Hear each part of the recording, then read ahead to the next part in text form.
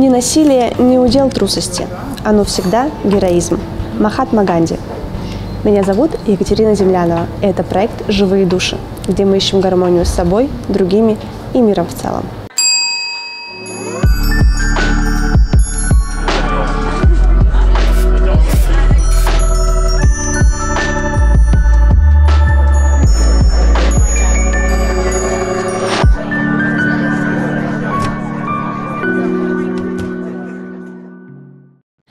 А тема сегодняшней встречи – ненасильственное общение. Как общаться с другим, от сердца к сердцу, говорить о своих чувствах и потребностях.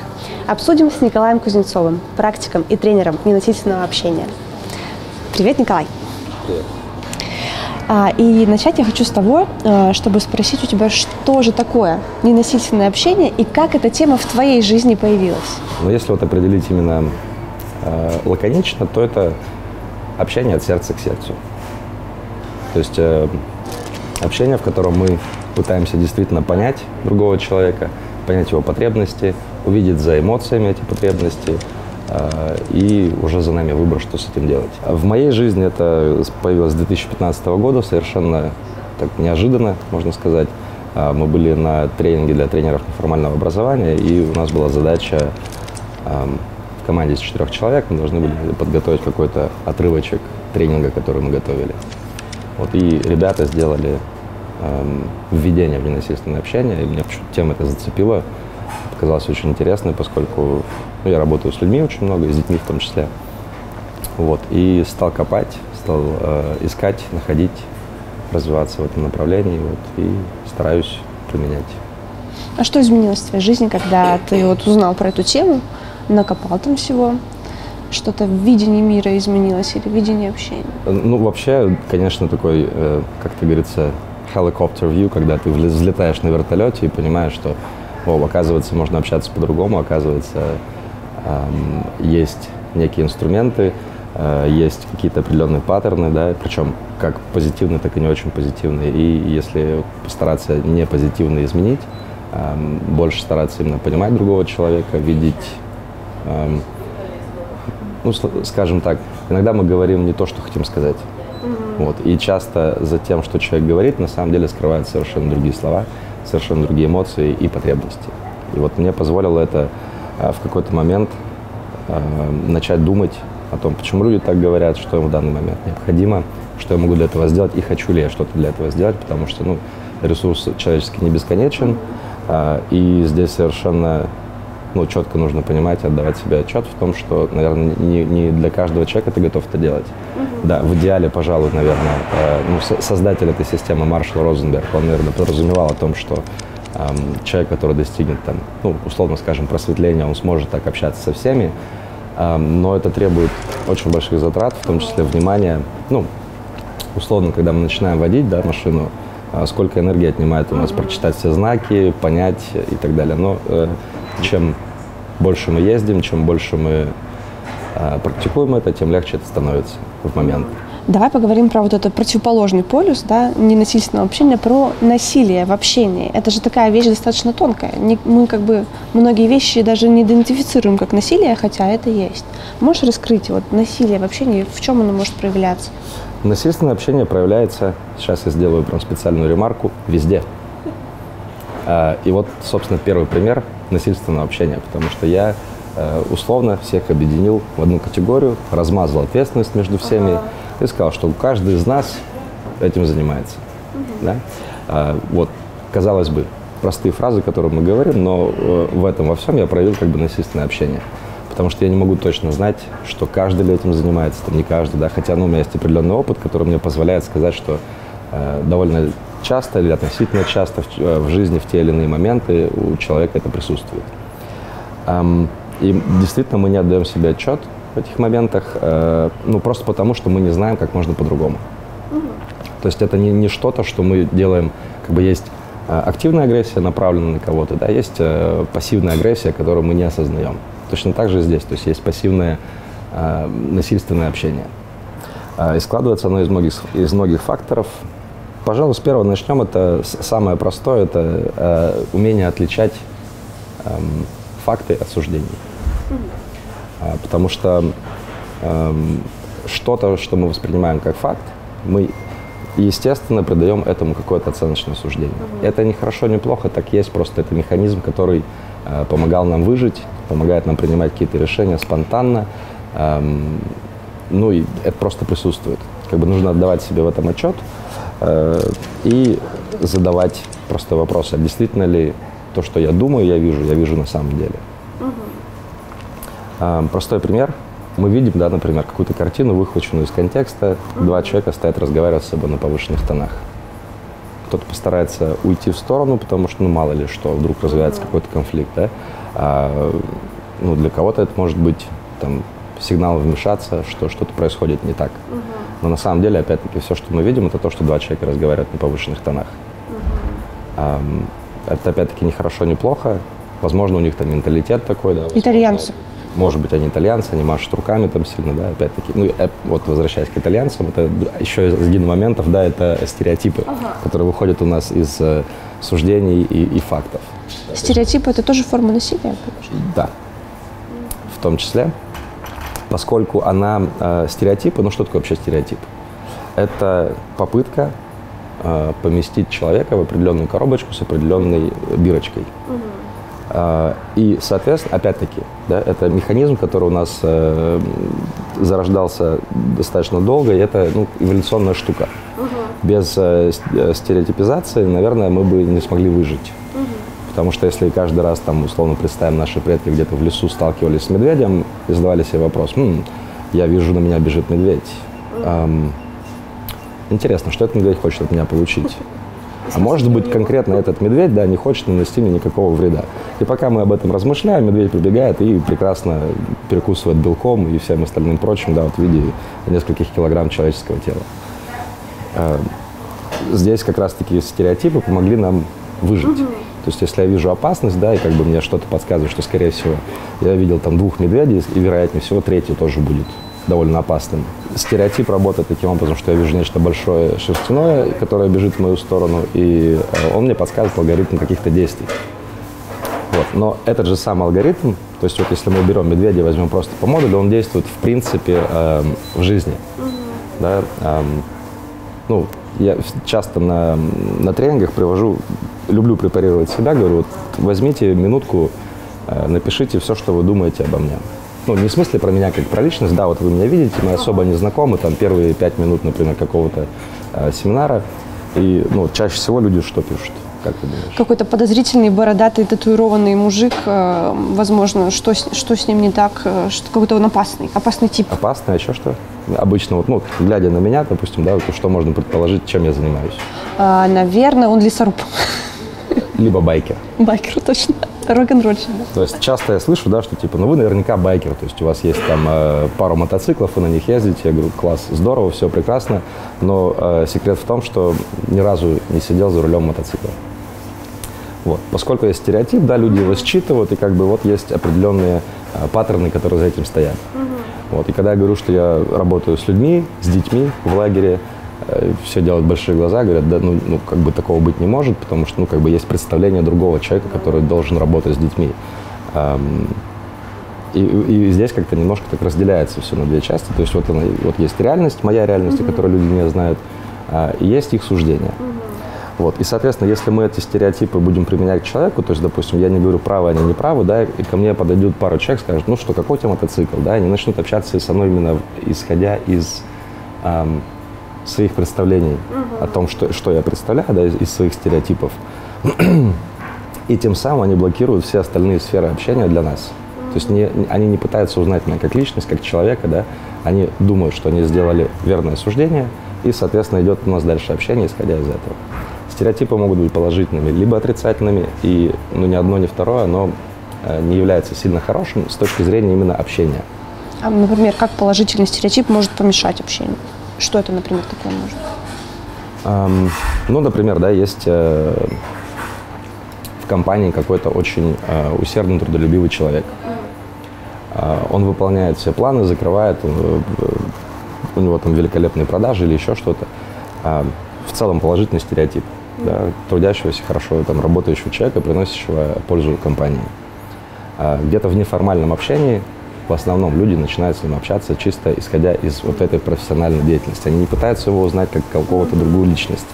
А, они начинают разговаривать, вот, то есть вот О делах. стильная ст- сторона, да, а- и человек от этого устает. А, ну, вот это вот такой пример положительной стереотипизации, который в итоге, ну, для человека, наверное, будет эм, в какой-то момент он станет для него несколько неприятным, потому что он будет понимать, что меня видят только как хорошего работника, меня не ценят как личность, и никто не пытается узнать, о чем я еще занимаюсь. Ну, то есть получается, что даже позитивные оценки, там, ты молодец, ты хороший сотрудник, и вот оценки с плюсом, они тоже вредят коммуникации, правильно? Сами по себе оценки нет, но если мы будем выстраивать свое общение, исходя из стереотипов, то они могут навредить. Навредить в каком смысле? Заблокировать остальные эм, эм, сферы. То есть я, еще раз говорю, буду строить свое общение, исходя из того, эм, из, из положительного или отрицательного моего представления о человеке, не пытаясь его узнать там, с, с разных сторон.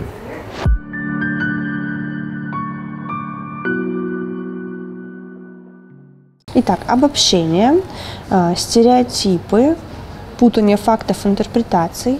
Что еще, какое еще может быть э, насилие, которое можно? Э, Я приводил тоже э, пример. Мы с него, в принципе, начали. Это использование усилителей. Э, вот В нашей речи довольно часто, я опять это использую, эм, мы к этому прибегаем. Вечно ты опаздываешь. Да? Э, да Ты постоянно недоволен.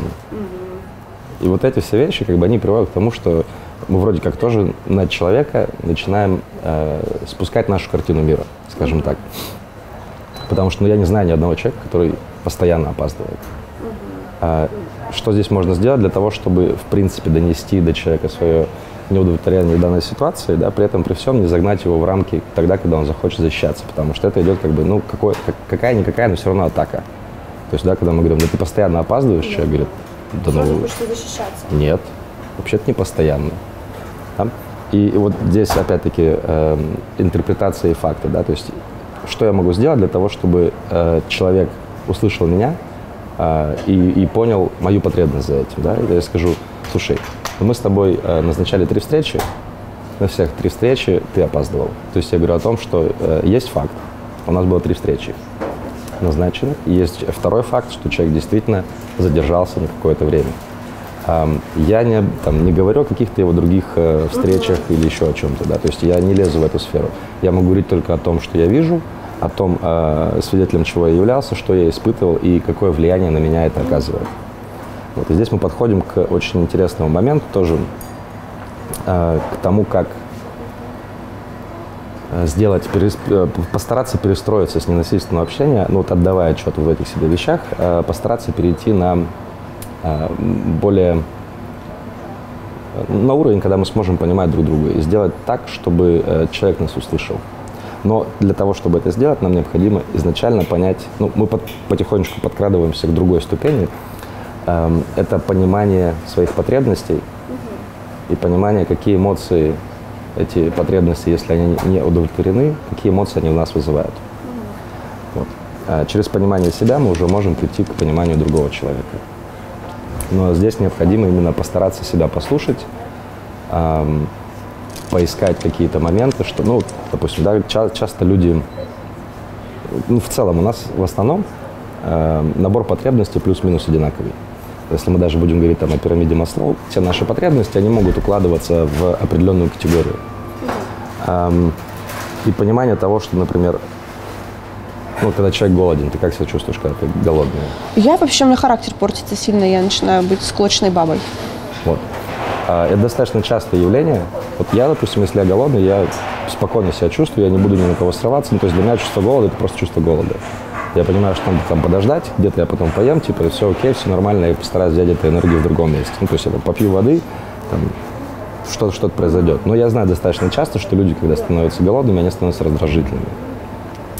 Эм, И здесь вот, если вдруг мы с тобой столкнулись, да, в какие-то моменты, у нас конфликт интересов, и при этом при всем ты испытываешь чувство голода, вот я такой хороший пондер, чтобы на меня сорвать, выплеснуть вот эту вот энергию, да, вроде тебе станет полегче, раздражение ушло, как-то и, и, и прекрасно. Вот. Если я не знаю ничего о ненасильственном общении, и не подозреваю, что в тебе есть какая-то потребность, то, скорее всего, если ты на меня сорвешься, я сорвусь в ответ. Ну, то есть, какого фига? Ну да, да, да. Я же тебе ничего плохого не сделал, я подошел, сказал, там, давай сделаем то-то, то-то, и ты на меня вдруг накричала. Для меня по непонятной причине. И если я понимаю, что, например, э, вероятно, в данной ситуации есть какая-то потребность, которая у тебя не закрыта, эм, я ведь могу просто пропустить эти слова мимо, не принимать их на свой счет и сказать, окей, я вижу, ты раздражена, э, слушай, э, что тебе в данный момент нужно?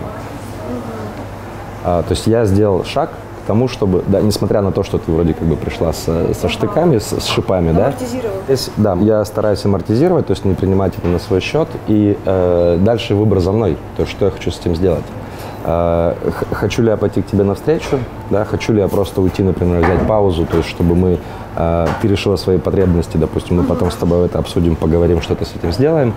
И если эм, ну, я выбираю, и это очень важный момент, потому что выбор за мной, если я выбираю продолжить с тобой общение именно э, на уровне ненасильственного общения, я скажу, Кать, слушай, ну, я вижу, ты чем-то расстроена, огорчена, что тебе нужно в данный момент? Я могу что-то сделать для того, чтобы ты почувствовал себя лучше.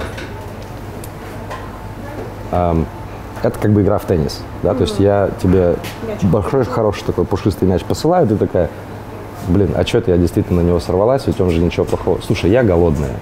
Говорю, давай поедим, потом продолжим общение. Там, заниматься тем, чем мы занимаемся. Это такая, класс. Ну, здорово. Вроде как меня услышали, да, причем я, может быть, даже сама не осознавала, что, что ты голодная. Ты такая, тык-тык, проанализировала, такая, о, действительно, мне надо сейчас поесть.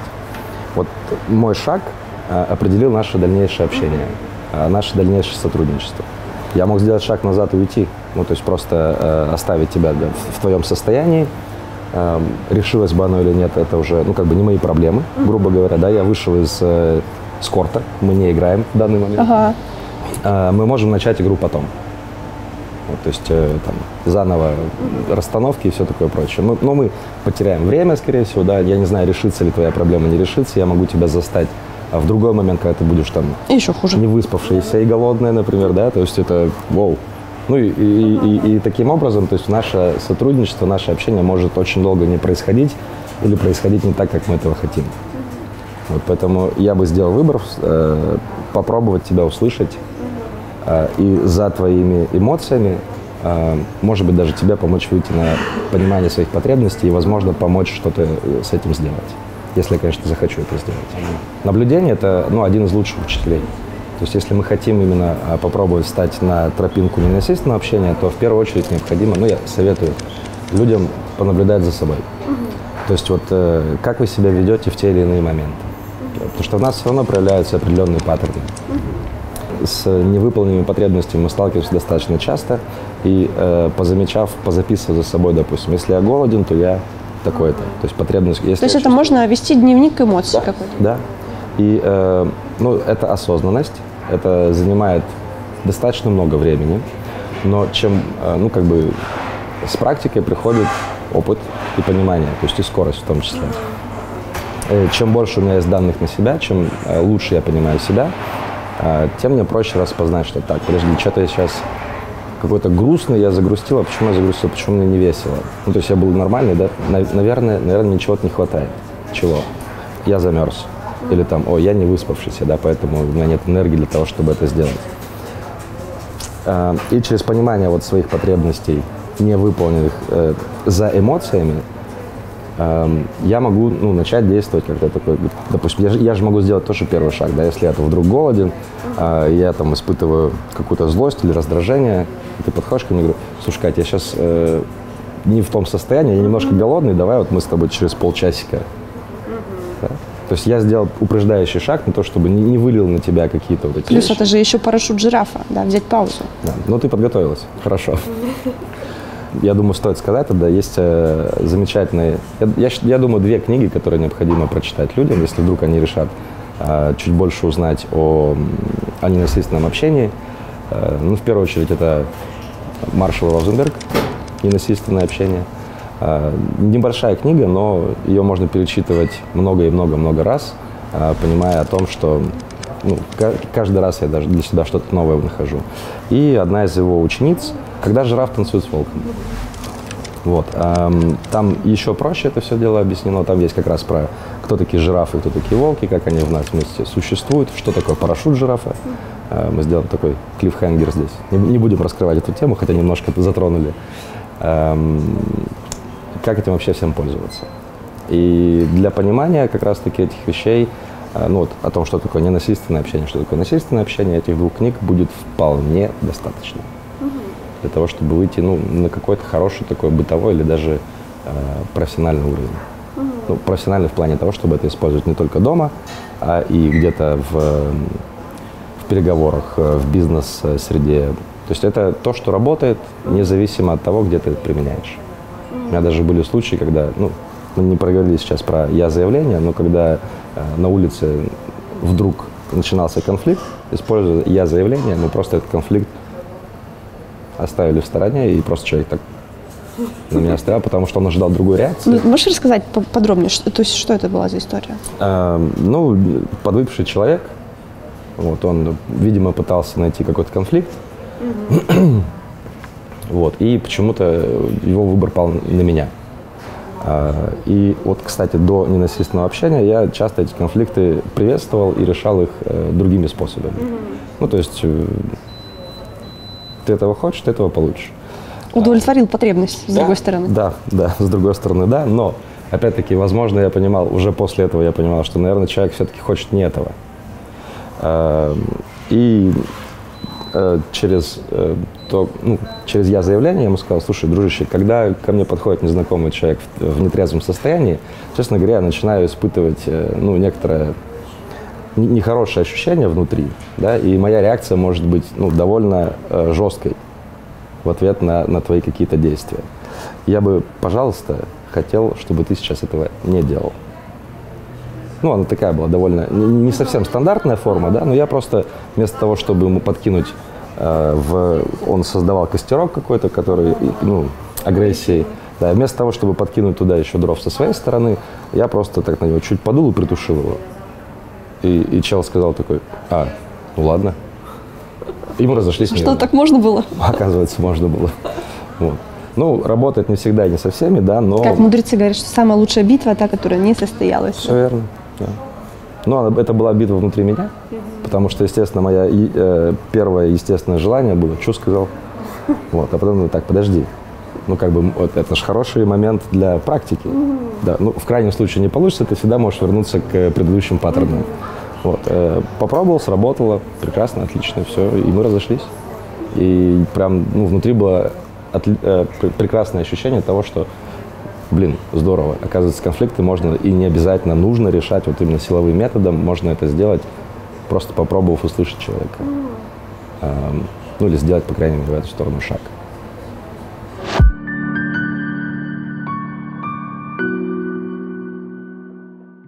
Давай вернемся про чувства. А, Ты говорил, что исследуя свои чувства, можно понять свои потребности, а, да, ну как-то их лучше услышать и научиться слышать потребности другого человека. А нужно ли эти чувства, что ты чувствуешь, а, презентовать да, своему собеседнику, говорить о них, и если нужно, то как это корректно сделать? Эм, нам почему-то кажется, что то, как мы говорим, оно будет интерпретировано так, как мы хотим. То есть то, что мы чувствуем через свои слова, я смогу... Ну, то есть ты же умный человек, ты должен понять, что я чувствую. Вот, то есть я, я сказал, там, хлопнул кулаком по столу, да, и как бы вот ты, ты должен услышать, что за этим стоит. Ну, классный пример, когда э, тоже мы на, на тренингах достаточно часто с ним э, работаем, когда ну, условно, мужчина приезжает домой достаточно поздно вечером.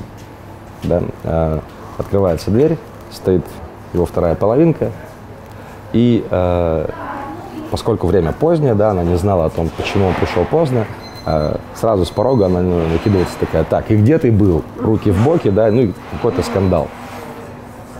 Эм, что должен услышать э, опоздавший в данный момент?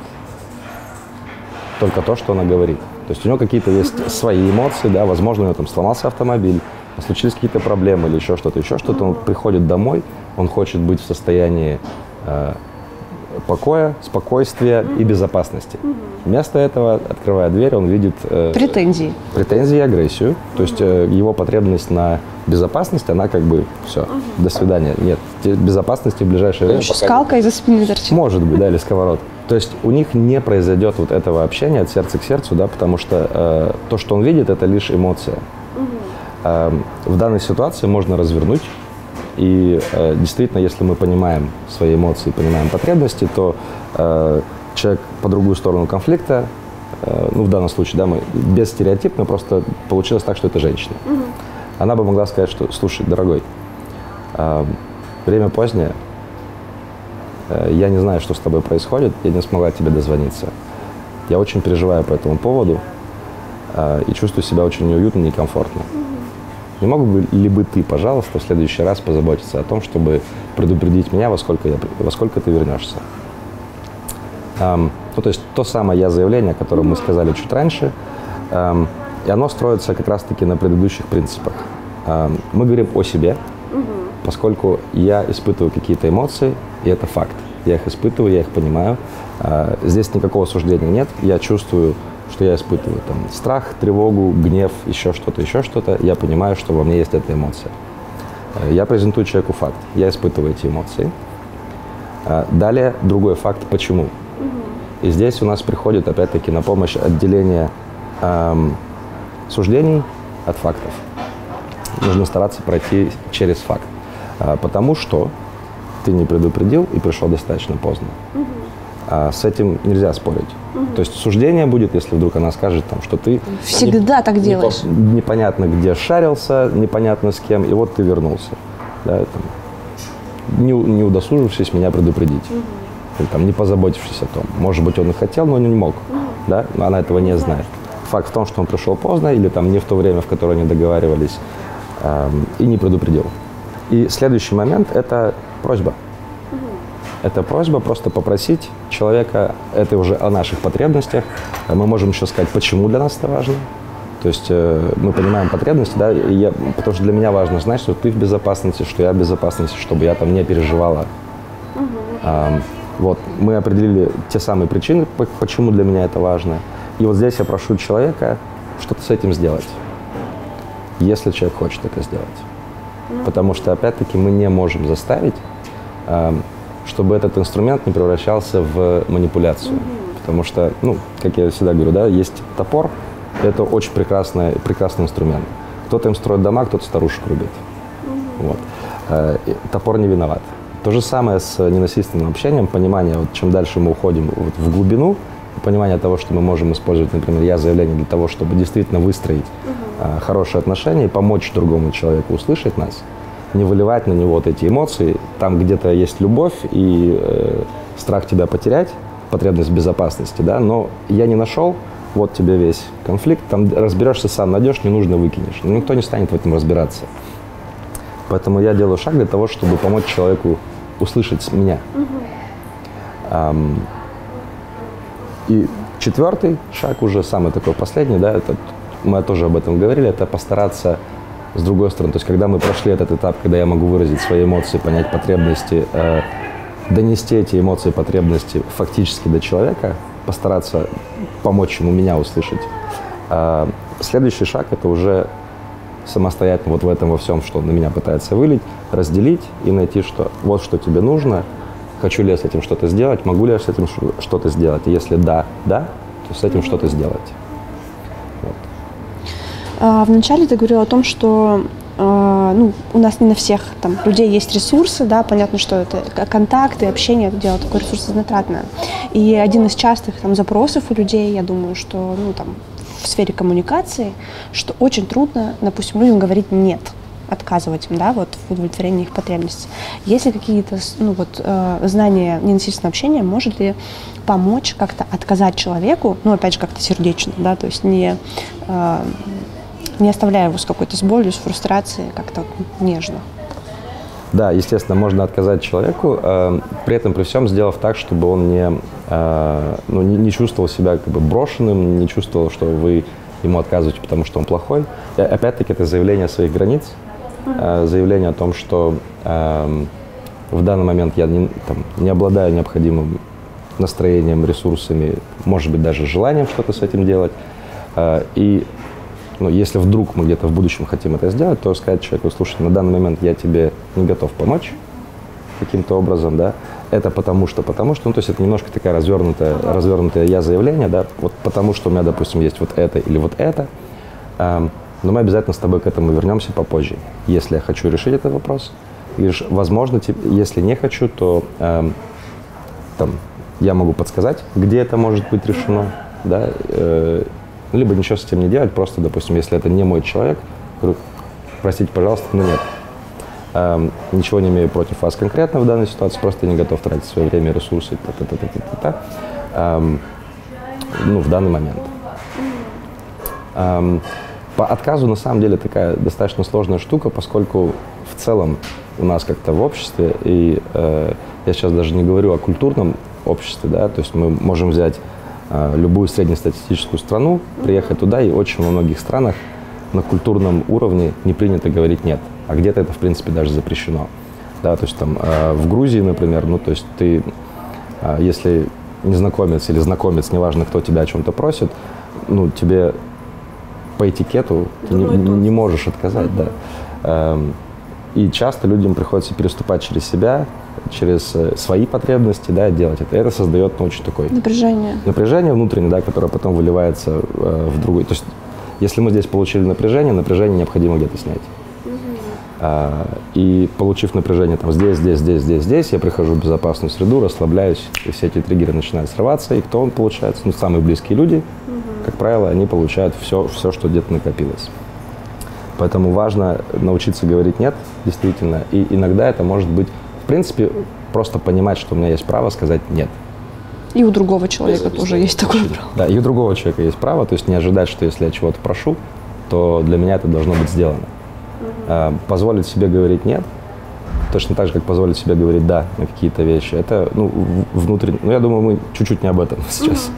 Эм, внутренние установки, внутренние границы, понимание этих границ и потребностей. А есть у тебя э, рекомендации по каким-то психологическим упражнениям, которые могли бы помочь наработать вот эти навыки, которые необходимы для ненасильственного общения? Не знаю, там, например, э, мы не так уж много чувств знаем, ну просто как они называются, да, мы там э, радуюсь, грущу, жаль и, собственно, все, да, как, допустим, например, наработать язык. Что еще можно? Наблюдение, мы об этом говорили, то есть, да, эмоции, э, какие потребности, какие эмоции вызывают, э, наблюдение, попрактиковать я заявление. Угу. И опять-таки, чем чаще мы это делаем, тем легче это получается. Для всех, здесь я подчеркиваю, для всех может быть полезным следующее упражнение, это взять э, листочек, разделить его на две части э, и в первую очередь вспомнить какой-то конфликт, который у вас произошел между вами и каким-то человеком. Желательно прям даже написать фразу, которую вам человек сказал в этот момент, которая вас очень сильно зацепила. Э, мы разделили листочек на две части, и вот здесь у нас есть, да, ну, можно нарисовать такую табличку, как буквой Т. Здесь написать эмоции, потребности, пометить все табличкой, э, эту табличку «Я», и э, с, с, снизу в такой же табличке написать про другого человека, с которым у вас э, случился конфликт. Э, только вначале мы пишем эмоции, потом потребности. Uh-huh. Э, и прописать, какие у вас были потребности не удовлетворены в данной ситуации, какие эмоции они у вас вызвали. Uh-huh. И сделать то же самое для другого человека. Предположить про его потребности. Да, ну мы видели эмоции, ага. или мы думаем, мы видели какие-то определенные эмоции, да, и попробовать предположить, какие потребности за этим, за этим скрывались. Посмотреть, проанализировать и прийти к очень любопытным выводам. Какими я говорить не буду, потому что они могут быть разные, а, но, как правило, они у людей достаточно сильно удивляют. А, если бы представить, что большинство людей научились насильственному общению и стали его практиковать. Как ты думаешь, как бы изменился мир в целом? Эм, хороший вопрос. Фантазировать можно много. Э, ну, жить бы стало точно легче друг с другом, друг с другом, общаться внутри коллектива. И э, мне кажется, в мире бы было больше любви и меньше войн. Спасибо большое за беседу по этой одной из самых важных и актуальных на сегодняшний день тем. А следующая наша тема будет посвящена женским инициациям. Какие этапы проходит женская психика в процессе взросления и что запускает эти этапы? Обсудим. До встречи.